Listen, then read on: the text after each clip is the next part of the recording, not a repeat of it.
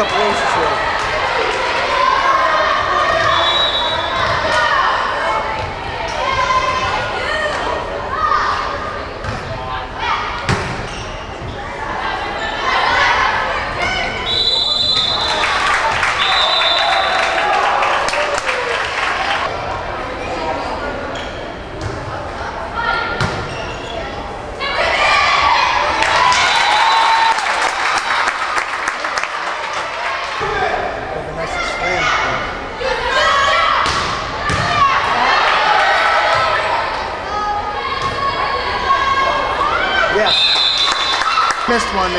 Our point.